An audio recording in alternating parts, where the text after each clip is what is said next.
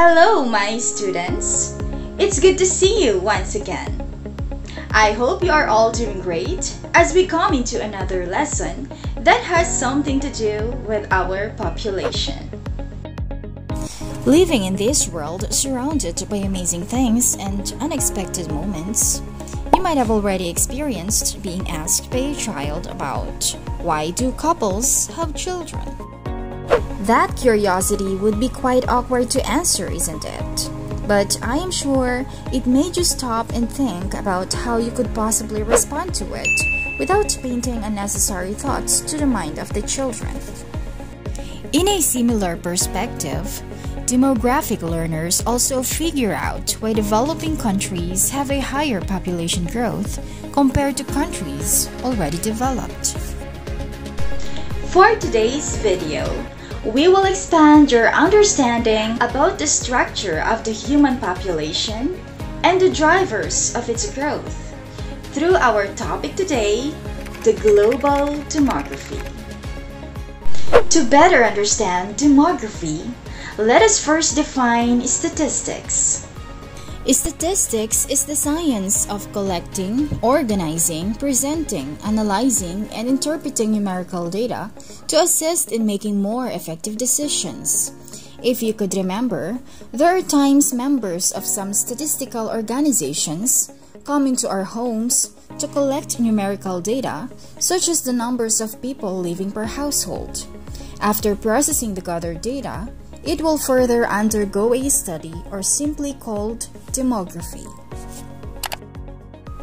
Demography is the study of statistics such as birth, death, income, incidence of disease, which illustrates the changing structure of the human population. Since there are some causes that modify the world's population over time, it is imperative to say that the rate of the human population is constant. So, what are the drivers of population growth? Urbanization. People from rural areas move to the urban for the desire of the advantages that urban has to offer. Urban advantages include greater opportunities to receive education, healthcare, and advancement in careers such as better job opportunities. Migration Migration is the movement of people from one place to another. This movement changes the population of a place. Immigrants add to the total population and emigrants are subtracted from the total population. Immigration and emigration? Aren't they just similar? Wait, let us have a simple grammar lesson. You might be confused about the difference between the two since we commonly use them interchangeably. Well, immigration and emigration are both called migration. However, the two are somehow different from one another.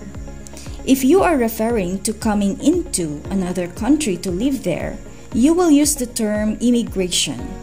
But if you are to leave your own country to live into another, you will use the term emigration.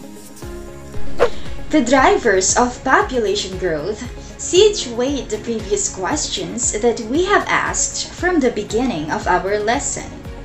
People produce children to simply build a family.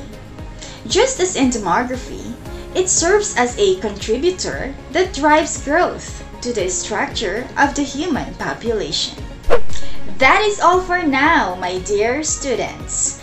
I am Mrs. Gloria P. Balimbin, asking you to please like, subscribe, and tap or click the notification bell to get you more updated for our incoming lessons.